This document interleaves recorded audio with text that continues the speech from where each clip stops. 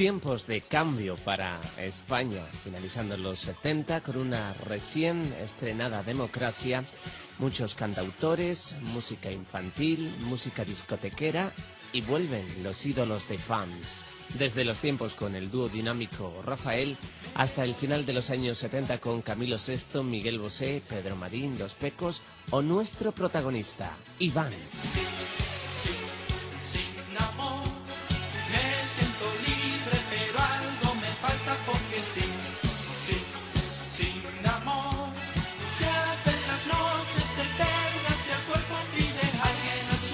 De casualidad y como en un cuento de hadas, un compañero del colegio que colaboraba en la cadena SER presenta a Juan Carlos Ramos Vaquero, que es su nombre original, Iván, el artístico, pues a Joaquín Luqui y al cantante Tony Genil. Estos quedan encantados. En mayo del año 79, Iván participó en un festival a beneficio de la Cruz Roja. A partir de ahí todo se precipita, se interesan por él y graba una canción que había quedado cuarta en el Festival de Eurovisión, compuesta y producida por el alemán Ralf Siegel y cantada por Chingis Khan.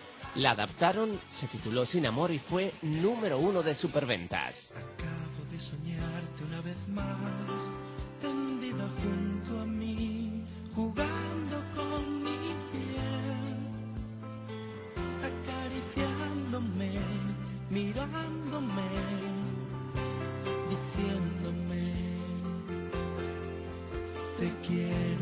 Tras el single, un primer álbum producido por Óscar Gómez, quien también compone parte del álbum junto a Iván y al conquense José Luis Perales, que entrega su segundo gran hit, una canción que se presenta un 9 de febrero de 1980 en el programa musical por excelencia de televisión española. Aplauso, el single Soñarte batía récords.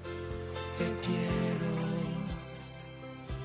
y desperté y vi que en mi ventana lentamente amanecía el día te imaginé Una romántica historia, una adolescente historia para un cantante también adolescente y para todos nosotros que lo seguíamos fervientemente. Iván, bienvenido. Hola Juan Carlos, ¿qué tal? Eh, estoy encantado de, de poder estar contigo, aunque sea a través del teléfono. Nosotros más encantados por te admiramos desde ese momento del Chingis Khan, que era la canción de Eurovisión, y de repente vas y la grabas en español.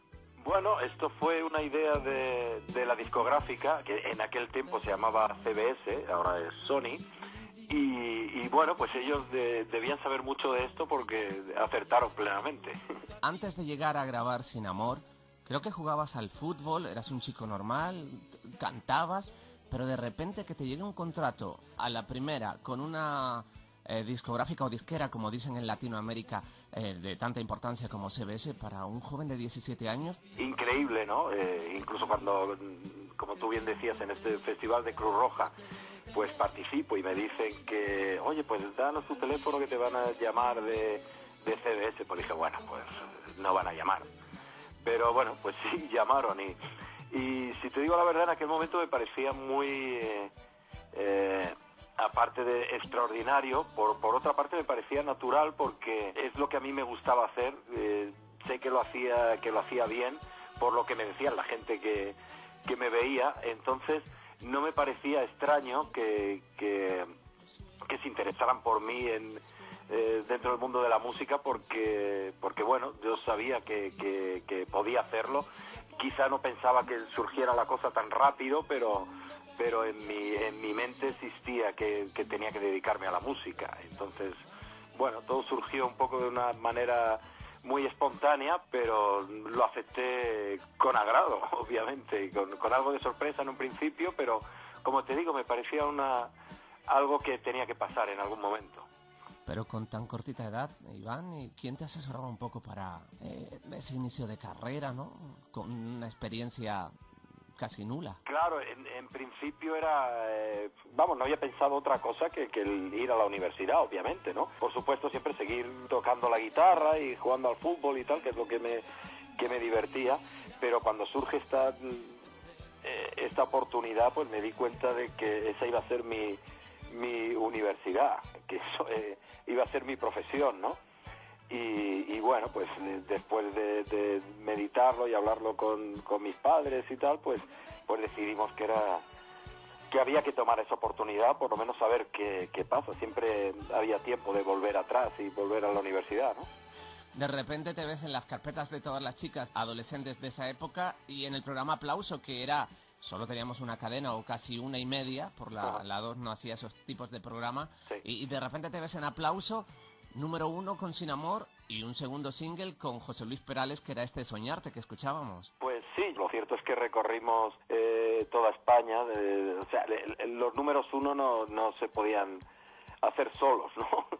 Y como tú bien dices, había una sola televisión, lo cual por una parte estaba muy bien porque salías eh, un día y te veía toda España de golpe, ¿no? Pero por otra parte, eh, pues también tenías que, que visitar eh, todas las emisoras de radio de, de, toda España para ir eh, pues eh, presentando las, las canciones y, y consiguiendo que llegara al mayor número de público posible. Entonces, bueno, pues eso fue un trabajo bastante agotador, ¿no? Porque fue más de un mes todos los días sin, sin bajarnos de, del tren o del, o del avión. Y luego, como bien dices, en febrero se presenta el segundo sencillo, que es Soñarte, pero eh, antes de eso, en enero, eh, estuvimos eh, en, en México haciendo lo mismo, presentando el Sin Amor y, y Soñarte, que, que, pues también fue un trabajo mm, muy intenso y, que también dio como resultado lo- los números uno en las listas de ventas.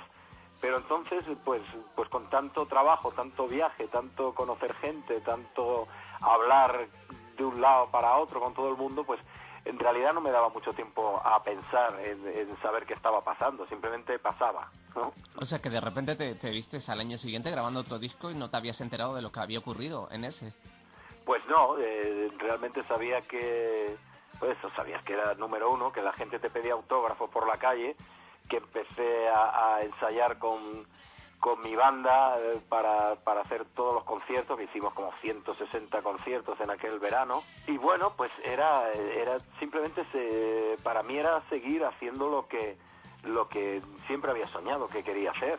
Y, y esto, pues, imagínate, después de estar siempre tocando tú solo con una guitarra, pues me encuentro con una banda fantástica tocando conmigo en, en directo, pues era ya, eh, no, no se podía conseguir más, el sueño estaba, estaba realizado, ¿no?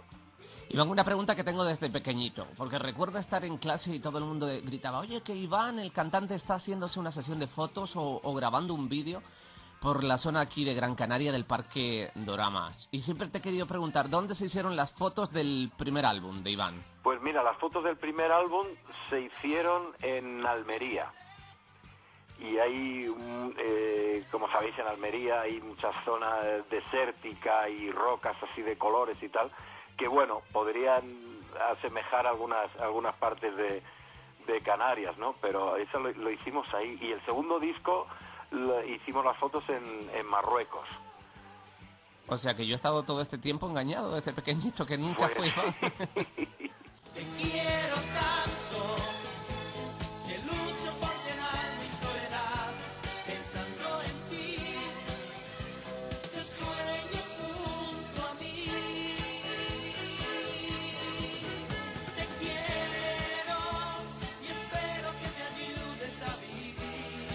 La maquinaria en funcionamiento de pleno éxito y los ejecutivos de CBS aprovechan para enviar a Iván a Londres a grabar un segundo álbum. Este se titula A Solas y se presenta con esta canción que acabamos de escuchar. Repite autoría José Luis Perales. Te quiero tanto.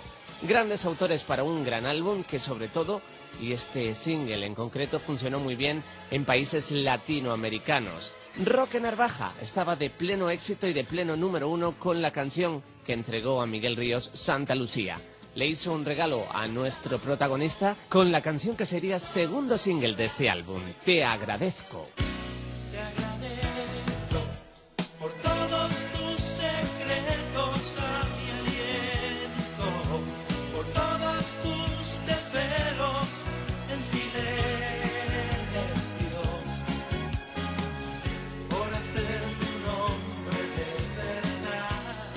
Verdad. dicho, seguía la estela del Soñarte, Te quiero tanto, llegaba este segundo álbum que fue nuevamente grabado en Londres. ¿Podías elegir el material que querías eh, incluir en tus discos o todavía no tenías mucha decisión, Iván? no tenía mucha decisión, pero eh, trabajaba y empecé a trabajar desde el primer momento para el primer disco con, con Oscar Gómez y, pues la mitad del, del, material de cada disco era o, escrito por mí solamente o en combinación con, con Oscar. Luego, pues por lo menos la mitad, la mitad del disco, al ser de mi autoría, pues ya me, me quedaba contento con, con, con que había podido colocar eh, mis canciones.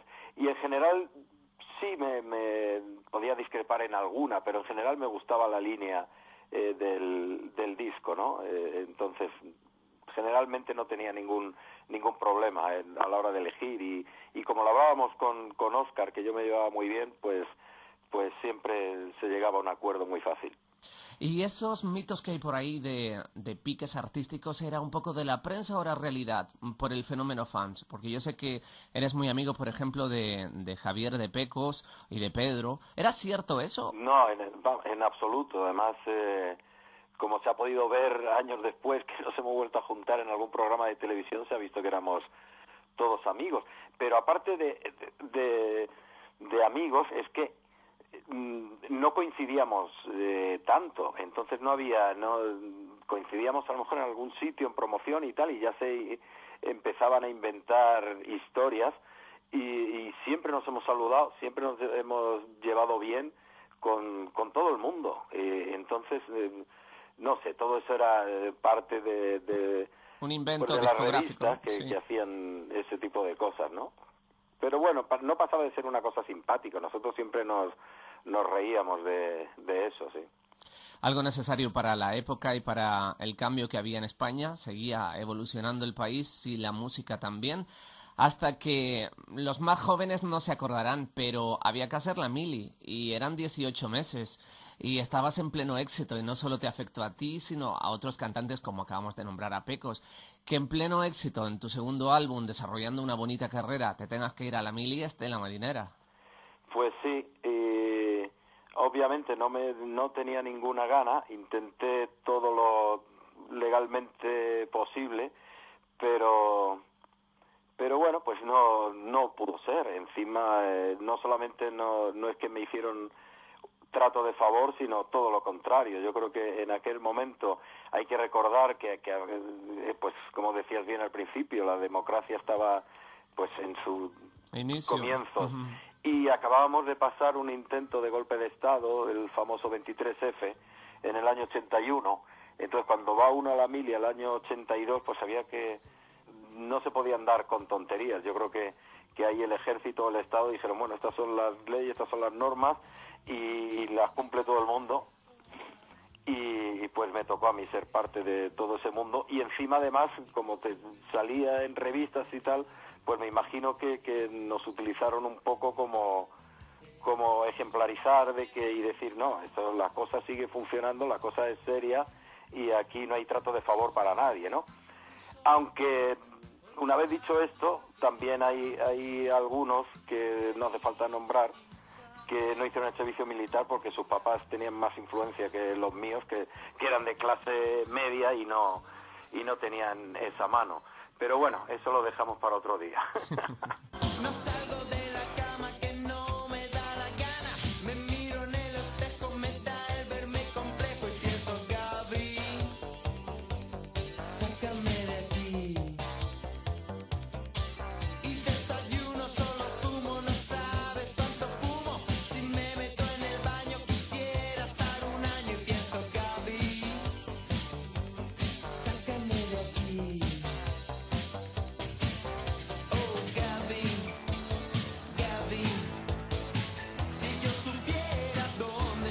Y llegamos al tercer álbum, publicado en 1982 con producción de Juan Pardo y bajo el título de Tiempo de Iván. Participaban nuevos autores, José Mari y Nacho Cano, Pedro de Pecos, una adaptación de un auténtico número uno en Francia, Alain Bachun, titulado Oh Gaby. Temas al español como Bajo los caracoles de tus cabellos. bajo los caracoles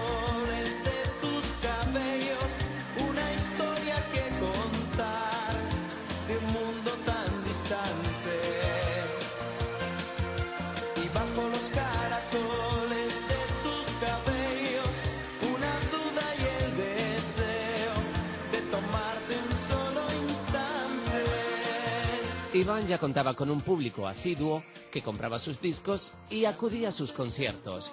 Pero llegaron 18 meses de Mili, que frenaban la carrera artística de Iván. Es noche y en esta casa la vida es tan rápida, poca luz y allá en la calle, mi última lágrima. Una canción esta que estamos escuchando compuesta por Pedro de Pecos. Sí, él hizo la letra a una música fantástica de Corner Kovacs, que, que fue el arreglista del, de todo el disco y, que a mí personalmente me, me parece una de las mejores que he grabado y, y de las mejores que, que he cantado. Ahí eh, Juan Pardo, que era entonces el productor, me dejó cantar eh, como yo sintiera esa canción y realmente es una canción tan emotiva que, que ahí se oye por, por primera vez en todos los discos mi, mi voz natural, desgarrada y, y con esa pasión que había que darle a ese tema. Y, y tengo una gran experiencia, esa- eh, eh, esa- eh, me acuerdo perfectamente cuando la grabamos, que había más gente en el, en el estudio de grabación y la grabé de arriba abajo, de, de- en una sola toma y cosa muy extraña que suele que no suele pasar nunca en los estudios de grabación es que todos se pusieron a aplaudir Qué y yo bueno. salí sudando y medio llorando después de cantar esa canción y Juan dijo ya está ni lo toques y Qué se queda. bueno. y así se quedó Te veo feliz hablando de, de este disco que mm, cambiaba un poco el, el- el sonido de Iván, aunque también tenía parte del Iván de los dos primeros, pero se presentaba más, un poquito más tecno, ¿no? Con el O Gaby. Y ahí eh, pues lógicamente va evolucionando la, la música. y ahí empieza ya de, pues sé, la tecnología empieza a, a entrar en los estudios de grabación y en los nuevos instrumentos y va todo muy deprisa. Y entonces lógicamente el cambio de, de productor pues hace que se note que diferencia con los dos discos anteriores que a mí me encantaban y me siguen encantando igual que este que este tercero pero era yo creo que una evolución natural había que, que utilizar los recursos que tenías en ese momento y era muy apasionante el descubrir nuevos sonidos y, y- y nuevos ritmos y, y baterías electrónicas combinadas con baterías tocadas y bajos electrónicos con, con bajos de verdad y todo esto era fue muy muy apasionante ese, ese disco ya va mostrando una evolución hacia lo que va viniendo después este es casi un, un puente entre entre pues a, a lo que luego ha sido mi éxito más grande que ha sido fotonovela no la experiencia con Juan Pardo, entonces, fenomenal, ¿no? Pues sí, también tuve, he tenido la gran suerte con, con mis productores. Eh, con Oscar Gómez, que hicimos dos discos, era, pues yo me sentía parte de, de- de su familia, ¿no? Estuve con él con, desde que tenía 17 años. Entonces, pues, pues me sentía muy a gusto.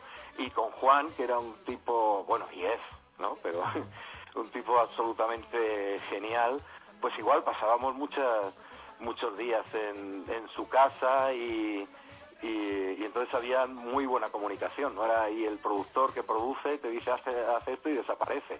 Hemos seguido siendo amigos durante muchos años. Qué bueno. Y O Gaby, que se publicaba como single, pero creo que en México fue bajo los caracoles de tus cabellos. Sí, ahí funcionó, funcionó mucho mejor la, la balada. Eh, igual que Te quiero tanto, todavía sigue siendo casi un himno en, en los países de, de Latinoamérica, está en, en la memoria colectiva, ¿no? Pues, pues este es Bajo los caracoles de tus cabellos, es un tema que compuesto por Roberto Carlos. Entonces, pues ya tenía un sello de identidad que, que le hacía que sería que fuera obvio que, que funcionara en, en esos territorios, ¿sí?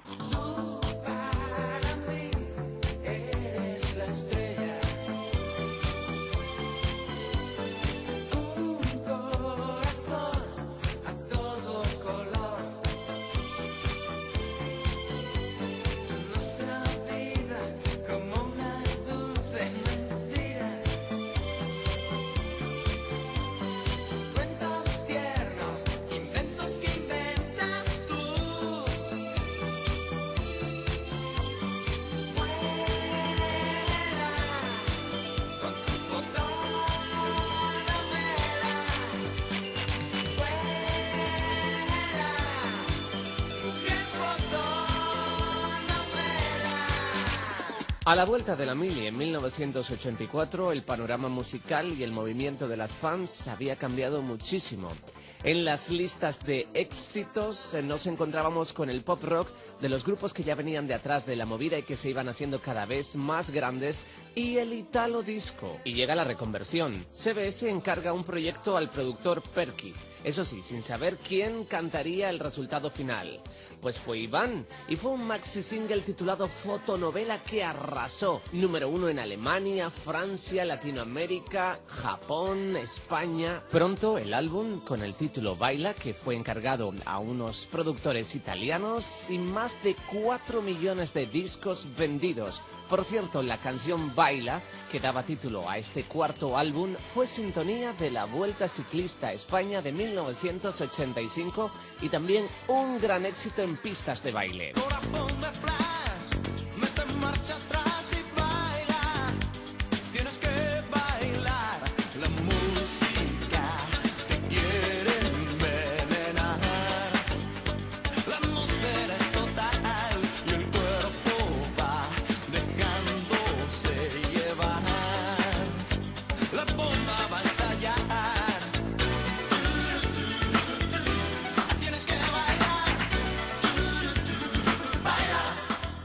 Pleno al 15 y éxito internacional con fotonovela. O sea que ya pasas de Latinoamérica y España a Alemania, Holanda, Japón. Pues sí, porque, bueno, además esto eh, no solamente importante para mí, sino yo creo que, que es mm, importante en, en general para, para la música española y para la imagen de, de España en el, en el extranjero porque a cualquier sitio que, que yo iba, además, fotonovela no se hizo en ningún otro idioma, siempre se cantó en castellano y, y funcionó y vendió. Entonces, es un hito en la, en la, en la música española.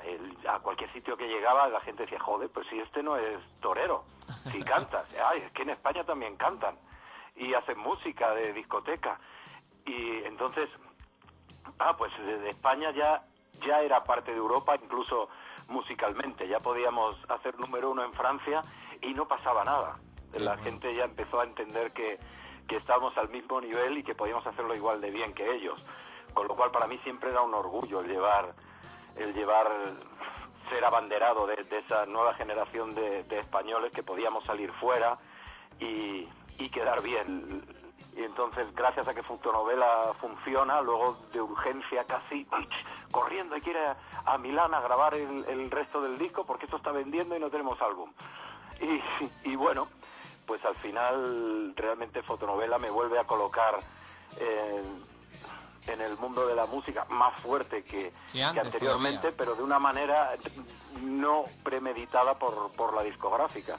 Con lo cual, pues, pues eh, queda un poco claro que al final quien, quien decide es la, es la gente. Te puedes gastar un dineral en promocionar las canciones, pero si no gustan y el artista no cae bien o por cualquier cosa, pues al final no funciona. Fotonovela sin gastarse nada y sonando por generación espontánea en las discotecas se hace número uno solito. Yo recibí la canción en un cassette entonces, que con el demo, tarareada, sin, sin letra, y llamamos a, a Luis Gómez Escolar, que ya él pues de Sin Amor, él había hecho la versión de Sin Amor y, es, es uno de los grandes letristas y autores de, este país por, por muchos años. Y bueno, pues, pues se hizo la letra. A mí, en, principio, me parecía que... Porque, joder, si, si es que está si no dice nada la canción, pero sonaba bien. El truco era un concepto diferente a lo que yo había trabajado antes, que era intentar contar historias o, o emociones y tal. Esto era que, que todo sonara muy bien, era música tecno y había que encontrar y, y, bueno, pues Luis Gómez Escolar dio con, con el Vuela, con tu fotonovela, que se ha hecho internacional. Entonces, pues, pues es un más mérito de él, ¿no? Y sobre todo de, de Pedro Vidal, el, el productor y creador de, de la melodía que, y del arreglo, que es absolutamente... Es, claro, es una canción de discoteca para bailar pero es una canción elegante, tiene un arreglo elegante y, ahí eh, estamos combinando los violines que suenan y el acordeón son de verdad. Entonces esa combinación del tecno con, con instrumentos tan clásicos como los violines o el acordeón le dan esa elegancia que creo que es pues nada, El nos salió de primera, vamos. Qué bueno. Y Baila, que es el disco que grabas un poco casi de urgencia, mm, pero que sale mucho más tarde, ¿no? Al, al año siguiente casi. Sí, porque es que fotonovela tarda mucho en, explotar, vamos, eh, salió en España ese año, no se le hizo mucho caso, como te digo, que la discográfica no, no tenía una gran fe en, en esto, y resulta que, que durante ese verano pues empieza a sonar en discotecas, eh, empieza a sonar eh, un DJ holandés lo pone en Holanda, en Alemania lo ponen, en Francia empieza a sonar y entonces se da cuenta el eh, CBS Internacional o CBS Europa en este caso de que era de que era un producto de ellos y, y se dan cuenta que hay una canción que está sonando sola sin que se hayan tenido que gastar ni un duro eh, y, y está funcionando. Entonces es cuando ya dan el toque de atención a España y dicen, oye, que tenemos esto reventando, hay que hacer algo. Y entonces, pues, pues bueno, ahí empezamos a hacer el siguiente disco y entre medias, pues viajando a Francia cada dos por tres, a París, a presentar las canciones, voy al Miden, eh, a la gala final del Miden, ahí coincido pues con, gente muy importante, como entonces Bronsky Beat o Jermaine Jackson, y, y bueno, y ahí estoy yo entre todos ellos como, como una de las diez canciones más importantes del año en Europa.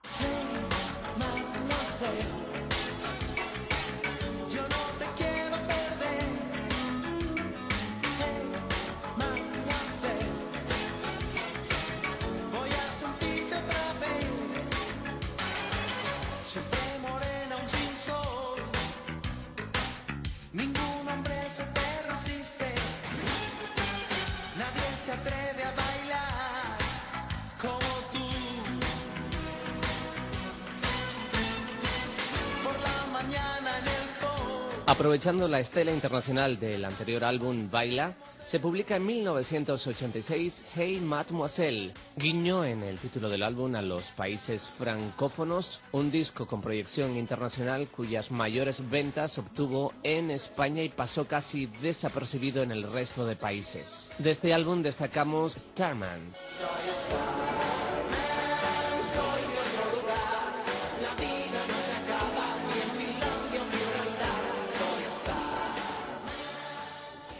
Pues te atrevías con una canción de Bowie, Starman en español. Pues sí, eso fue un- una especie de, de reto. De ese disco hay muchas canciones mías, letra y música. eh, de hecho, Hey Mademoiselle, la letra es mía. Y, y Starman también hice la letra. Hay mucha gente que dice, qué tontería eso que decías, que Starman, la vida no se acaba ni en Finlandia o Gibraltar. Bueno, esto tenía su, su sentido. Yo había hecho la mili en Tarifa, en. Gibraltar, y, y estaba casado con una finlandesa. Entonces, para mí eran los dos extremos de importantes que habían marcado mi vida y entonces por eso lo escribía y, y rimaba. Iván, y cuéntame, porque después de vender tantos discos con la fotonovela y con el álbum Baila, llega Hey Mademoiselle que se queda ahí y teniendo grandes autores como Casal. ¿Qué pasó en aquel momento? Pues sí, pues ya ese era el último disco con, con ellos y, y yo no me encontraba muy cómodo y, y me imagino que dijeron, bueno, pues si es el último y no hay continuidad, pues eh, aquí se acabó. Entonces, pues, pues la campaña no, no hicieron gran cosa con, con ello, aunque, como bien dices, en España funcionó muy bien. También tuvo su- sus ventas en, en Europa, pero no fui para allá a hacer ninguna promoción como habíamos hecho antes, ¿no? Entonces, pues era como que lo dejaron eh, Ahí un poco pasar más desapercibido, ¿no? Son cosas un poco... Bueno, de estrategias, entró un, un director nuevo que por aquel entonces cuando cuando yo hice ese cuando hicimos eh, este disco Hey Mademoiselle eh, en la compañía estaban pues Miguel Bosé, Pecos y Mecano y casualmente cuando entra este nuevo director se van fuera de la compañía. Pero bueno son cosas que, que son ¿Cómo era aquel mundo de fans? era, era totalmente espontáneo. Eh, era, eh, y a mí me parecía eh, muy bonito. A veces llegaba a ser peligroso por la aglomeración de gente, ¿no? Pero, pero era absolutamente espontáneo. Íbamos a, a- a alguna entrevista de, de radio y, y claro, pues la entrevista en directo, la gente, las fans oían que estabas en la emisora y cuando ibas a salir estaba absolutamente bloqueada la escalera, la calle, tenía que venir la policía para sacarte y pero era eh, nadie provocaba eso eh, surgía. Y eso era lo, lo bonito de, del fenómeno fans que era una, un movimiento social. Luego hombre se organizaban en clubs y, y todo este tipo de cosas pero se organizaban las fans por sí mismas no entonces era era algo muy bonito y que yo y yo creo que todas las que han sido fans y han colaborado en en, en todo esto pues pues lo saben y, y yo creo que lo disfrutaban mucho no y ya de paso quiero mandar un beso a, a Mari Carmen que era una de mis fans de aquella época y que seguimos en contacto todavía y, Y que gracias a ella, Mari Carmen Pardo Fernández, Ajá. pues estamos tú y yo hablando. Eso mismo, hay que mandarle un beso muy fuerte a Mari Carmen. Y, y ella, pues, quizá la podías entrevistar a ella algún día y que te cuente cómo realmente funcionaba eso, ¿no? Pero de verdad era puro cariño hacia su artista y iban a, a todos los conciertos que podían y, y siempre, pues no sé, y te querían mucho. Yo siempre he recibido mucho cariño por, por parte de ellas.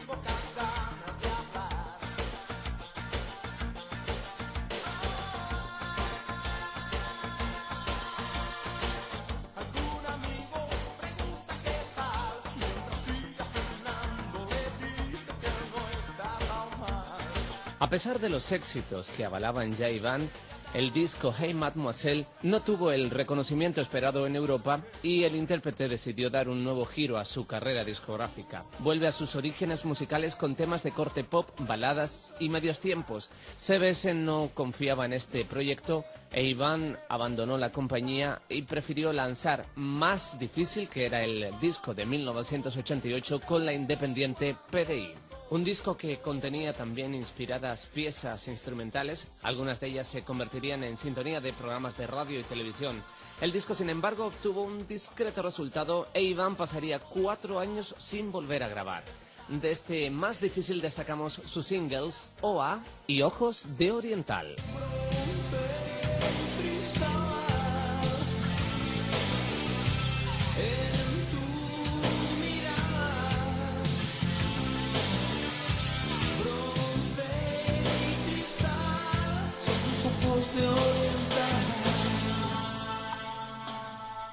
Con este disco te presentabas ahí en PDI y ya la cosa cambiaba, ¿no? De estar en una bueno, ya era multinacional. un trabajo con una compañía independiente.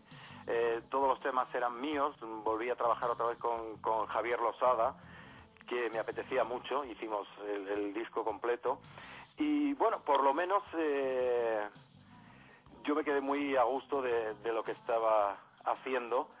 Y, y bueno, lo que sí se puede decir que OA y Ojos de Oriental fueron número uno en México. Allí me volvió a, sacar eh, mi primera compañía de discos, que era otra independiente con la que hicimos el Te Quiero Tanto y, y Sin Amor, número uno. Y OA fue número uno en, el- en esa época en México. Entonces, bueno, lo que pasa que, que no teníamos aquí en España por los medios eh, económicos para poder hacer una gran campaña, pero pero creo que quedó un disco muy muy digno y yo me quedé muy a gusto de, hacerlo, sí, porque ya sabía que era mi disco más difícil. Es cierto, porque se te cerraron muchas puertas de llegar con una multinacional como Sony actualmente a ir con tu disquito bajo el brazo con una independiente con PDI, aparte de lo de México que, que fue bien recibido. Sí, se puede, se puede decir que sí, ¿no? En televisión era eh, casi imposible. Eh, en, eh, en radio eh, y, y prensa creo que siempre, pues durante todos los años que, estuve anteriormente, dejé buena, buena sensación y buenos eh, amigos y, y entonces pues pues sí seguía haciendo radio y tal pero ya no eran esas campañas eh, multitudinarias no y, entonces pues bueno pues la cosa se iba aflojando lógicamente seguí haciendo conciertos y seguíamos funcionando porque los éxitos eh, anteriores seguían en, la memoria de todo de todo el mundo no pero ya no era el el, follón que se organizaba antes y, y- ya definitivamente el fenómeno fans ha dejado de, de existir, ¿no? Entonces, pues bueno, había muchas cosas en contra.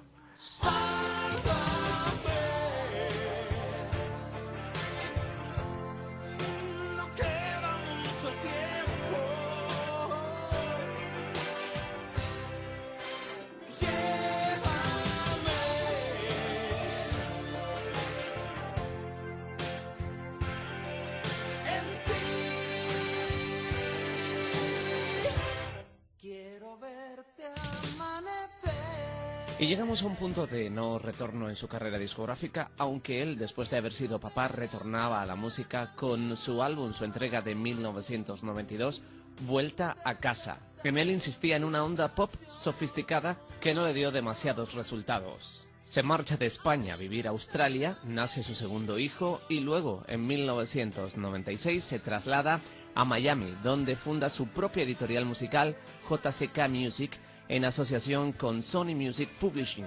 El álbum Vuelta a casa se daba a conocer con dos singles, Sálvame y Bailar con la Luna.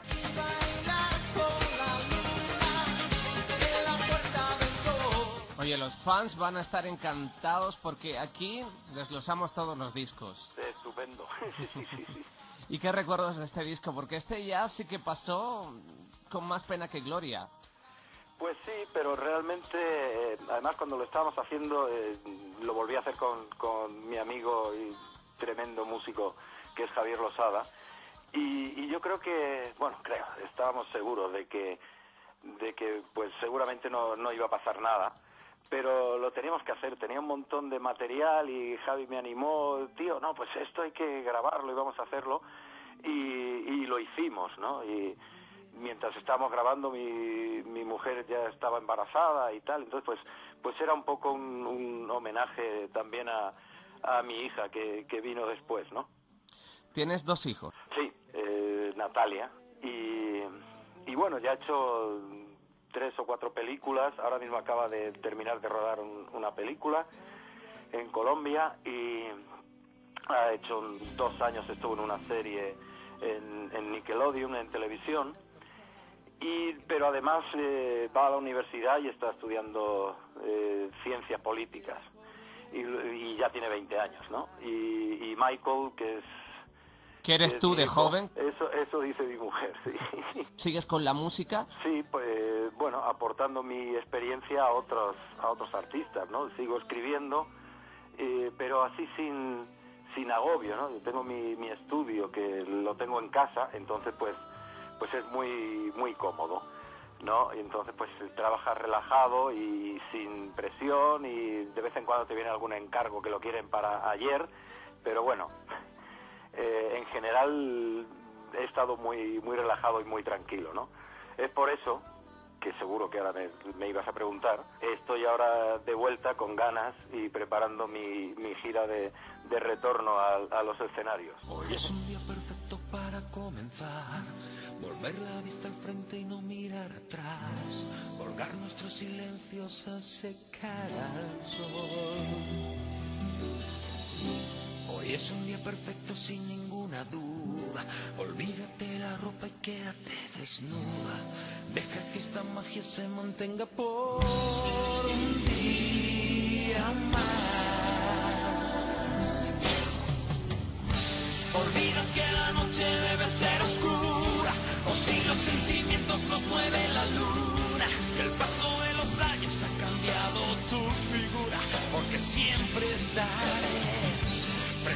Tras fundar la editorial JCK Music y trabajar en unión con Sony Music Publishing, consigue difundir sus composiciones en las voces de otros intérpretes. Recordamos, por ejemplo, canciones de Iván para India.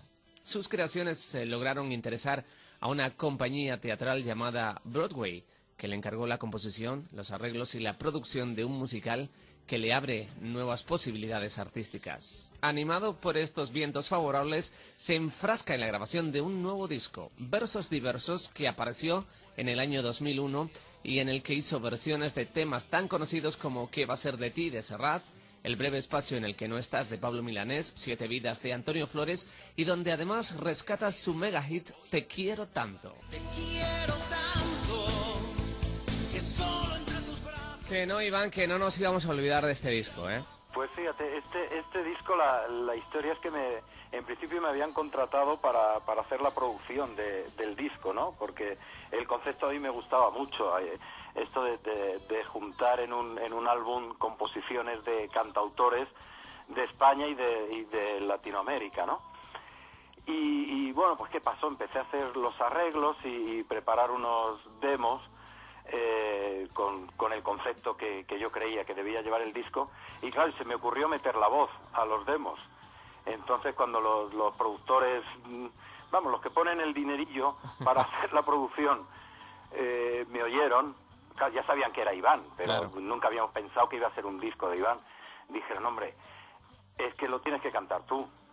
Y, y bueno, después de darle algunas vueltas, pues dije, vale, pues lo cantaré yo y al final pues, pues se ha convertido en, un disco nuevo de, de Iván, cuando en realidad Iván lo que iba a ser es solamente el productor de ese disco, ¿no? Pero estoy muy contento del resultado, me parece que es una, es una de las joyas de mi, de mi discografía. En 2001.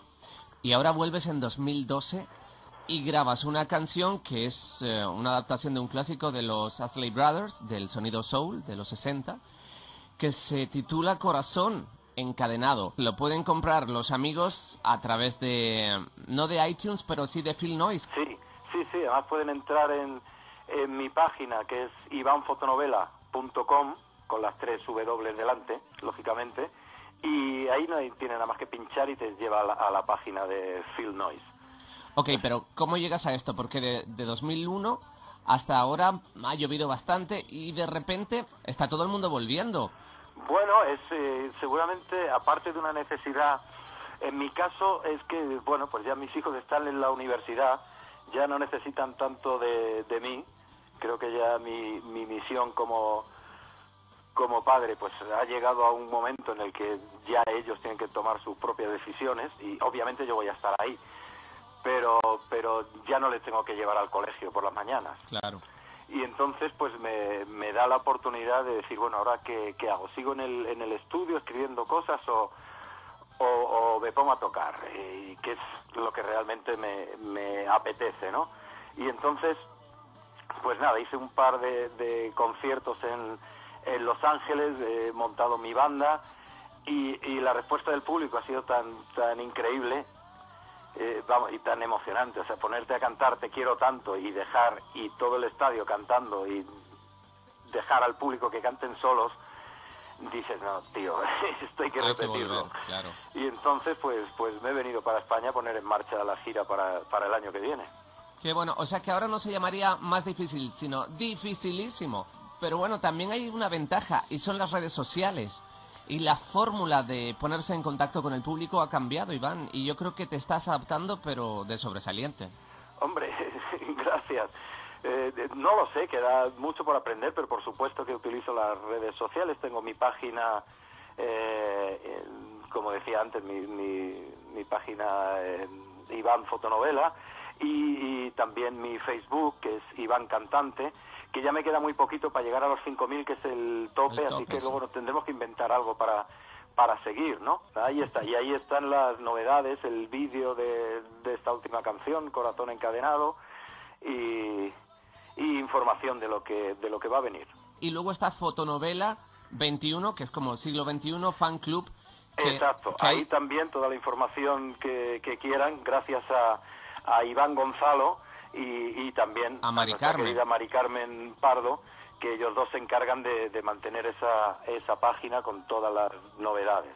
Y ahora estás en España. Estás eh, intentando volver a los escenarios. Me imagino que con banda, en solitario, eh, vas a ir a América. Es que esto me lo preguntaban los fans, eh, sobre todo en México, que si vas a ir a Latinoamérica a actuar. A mí me gustaría mucho ir, porque tengo muy buenas experiencias y porque, bueno, pues es...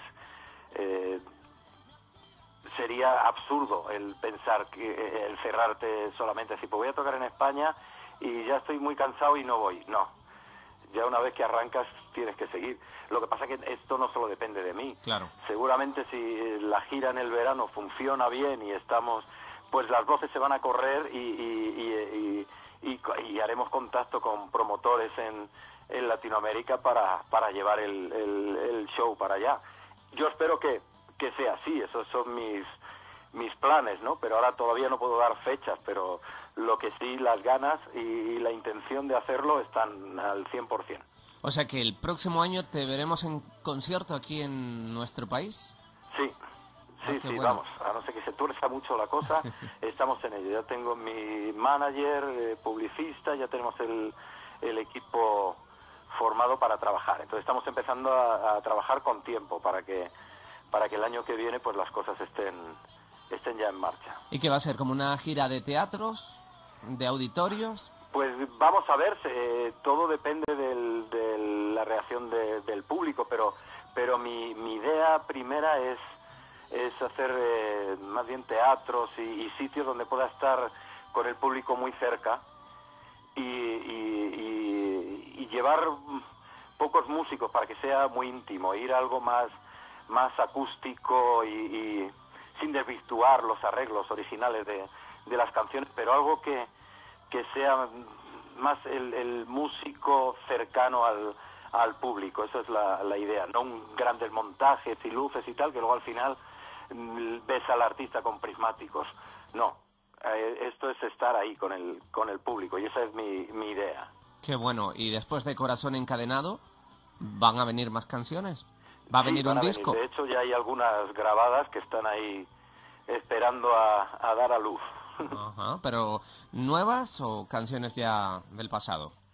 Bueno, hay algunas nuevas, hay algunas del pasado como fotonovela que la tenemos ahí con un nuevo remix y algunas sorpresas y, muchos temas temas nuevos de, de, mi autoría que es al final es lo que más me, me apetece hacer, ¿no? Es lo que te motiva para la vuelta. Pues sí, porque hombre como como músico y como compositor te gusta que, tus criaturas vean la luz y que la gente los, los escuche, ¿no? Entonces, pues, pues bueno, mis canciones son, son parte importante de quién soy y qué mejor manera de, de, de, que me conozcan y que el público sepa quién soy que escuchando lo que, lo que tengo que decir en las canciones, ¿no? Invitamos a los oyentes a que te busquen en Facebook, Iván Cantante o Fotonovela 21, que ahí está Mari Carmen Pardo e Iván Gonzalo, que por cierto, Iván Gonzalo se llama por ti el primer nombre y el segundo por Gonzalo. y, bueno, y que en la radio te seguimos escuchando y que el próximo año esperamos con ilusión verte en directo. Pues espero que, así sea.